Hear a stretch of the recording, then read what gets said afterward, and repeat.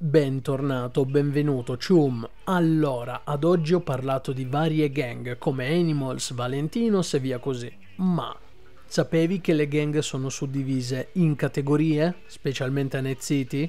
No, vero? Allora mettiti comodo, caro Chum, che ci penso io a raccontarti per bene le cose. Se sei pronto, partiamo.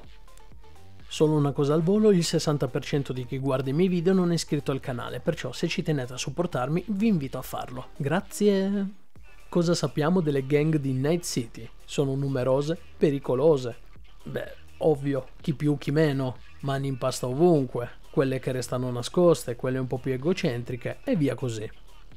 Ma partendo dal principio, cos'è una gang? Una gang è comunemente composta da criminali di vario genere e tende a governare illegalmente sfruttando a proprio vantaggio la violenza psicologica e fisica, ma la prediletta rimane quella fisica. Una gang di Night City di tutto rispetto di norma traffica in droghe, armi e svariate ramificazioni del mercato nero. Gli Animals stanno alle droghe anabolizzanti come gli scavengers al cyberware usato strappato via dalle loro vittime. Sebbene non esista una politica standard quando si tratta di bande per via della diversa natura, cultura o modus operandi, l'NCPD ha la possibilità di usufruire della forza letale non appena la situazione, a detta degli agenti, diventi insostenibile. Ergo, la polizia, parafrasando, può considerare al momento il da farsi. Tuttavia, per il quieto vivere impone che le gang operino liberamente, fin quando non causino problemi eccessivi.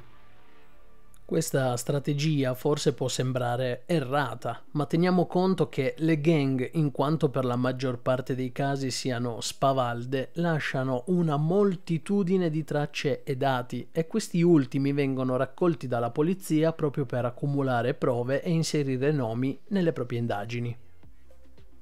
Altro argomento importante riguardo le gang è proprio che esse mantengono uno strettissimo legame e familiarità con il territorio, di conseguenza i dati raccolti dall'NCPD consentono un controllo a 360 gradi, evitando azioni inutilmente pericolose come l'inserimento di agenti sotto copertura.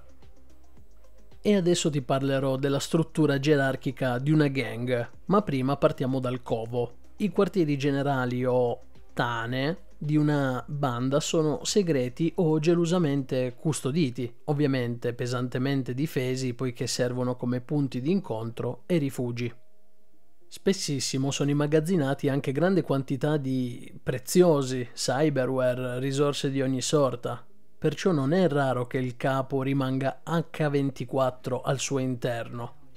Per il fattore gerarchia partiamo dal poco citato boss o signore della guerra, lui ha l'ultima parola e decide qualunque azione e destino del gruppo.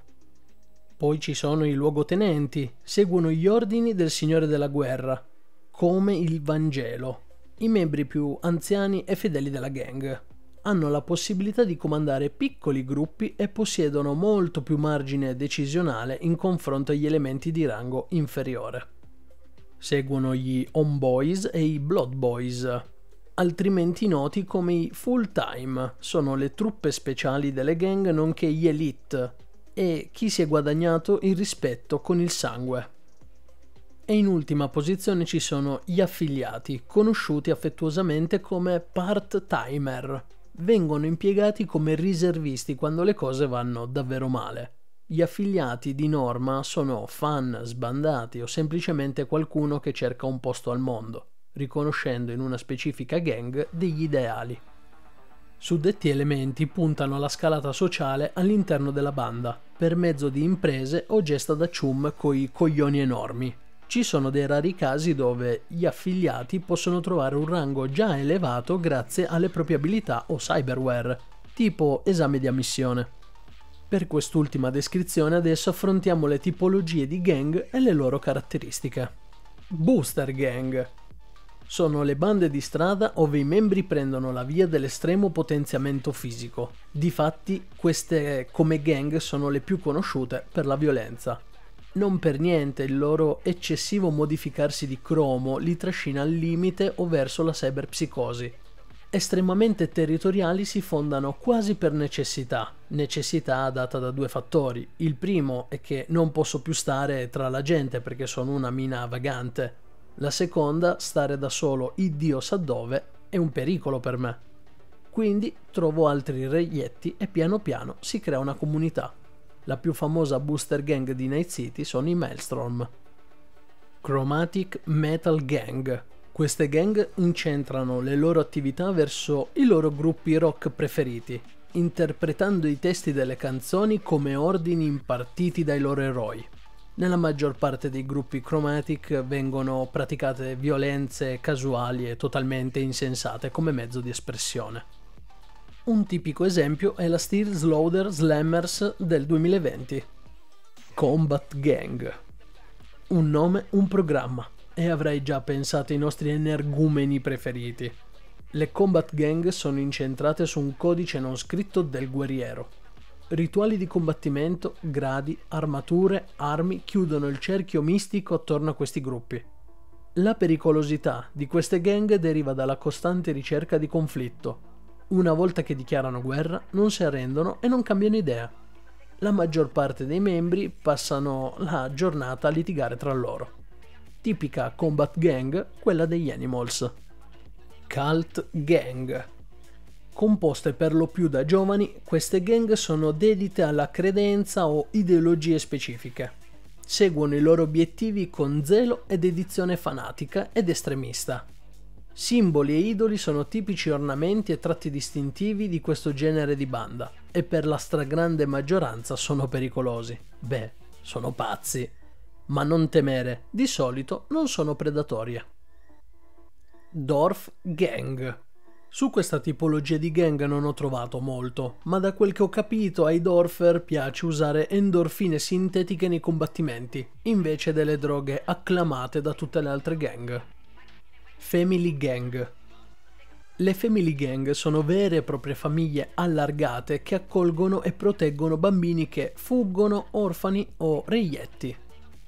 I ragazzi più grandi gestiscono la banda e proteggono il territorio, mentre i membri più giovani rubano e commerciano per sostenere la famiglia. Questa tipologia di gang è iperprotettiva nei confronti dei suoi membri e verso la casa dove risiedono. Una tipica family gang è quella dei Brady Bunch, che attraverso la bioscultura cercano di somigliare alla famiglia di una nota sitcom statunitense. Ora, io ho fatto una ricerca e ho trovato il programma televisivo La famiglia Brady andata in onda dal 1969 al 1974, solo che una, la gang, ha Brady scritto con la I, l'altra, la sitcom, ha Brady scritto con la Y. Coincidenze? Go Gang. Principalmente bande di motociclisti nomadi sono le controparti impure delle gang urbane dell'omonimo tipo dalla discendenza asiatica che prendono origine dal Giappone. In questo caso le gang degli Steel Dragons, acerrimi nemici dei più puri Tiger Clubs. Guardian Gang. Tendenzialmente sono gruppi che si mettono a guardia del proprio quartiere o strada. Questa gang emerge quando la gang locale, qualsiasi delle sopracitate, pisciasse fuori dal vaso. Ma io me li vedo panettieri, meccanici, operai, muratori con le mani di amianto che vanno a farcire di legnati i gruppi di galoppini sotto i lampioni la notte che fanno quel che non devono fare. Cioè, ma vi immaginate? Hate Gang. Indipendentemente dalla razza, una hate gang è composta da giovani uomini uniti attorno alla supremazia razziale. Uniformi, bandiere, slogan militaristi sono la regola se la prenderanno con tutto ciò pensino non rispetti la loro ideologia. E io adesso vi lascerò un'immagine e voi utilizzerete la vostra immaginazione per cercare di capire dove vanno, in quale direzione vanno questi gruppi. Esattamente, skinhead fascisti. Perfetto. Nihilist Gang, conosciute anche come bande terroriste. Queste vanno oltre le normali azioni di violenza contro il prossimo. Attuano vere e proprie campagne di paura e atrocità.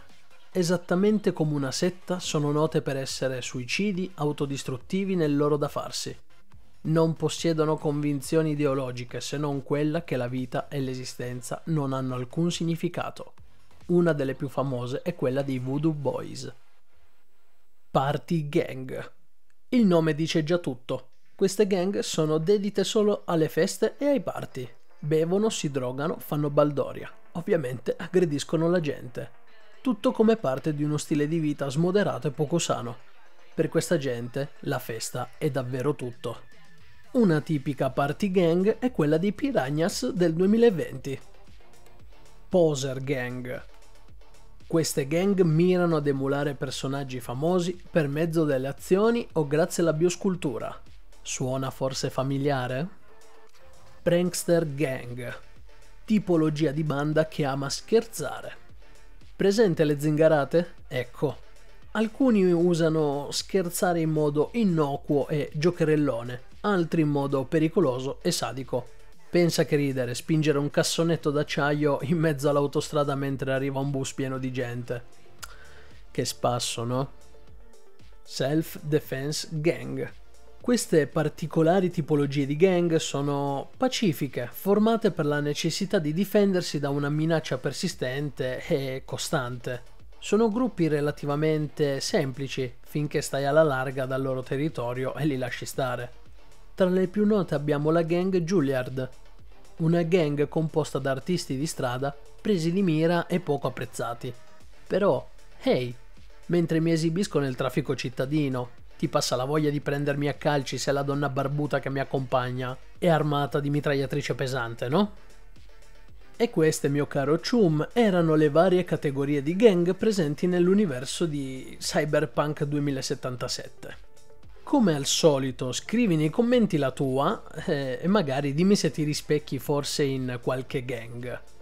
Detto questo, lascia un like, iscriviti, ricordati quel famoso 60% o 70%, adesso non mi ricordo, ma iscriviti gentilmente e condividi con altri fan.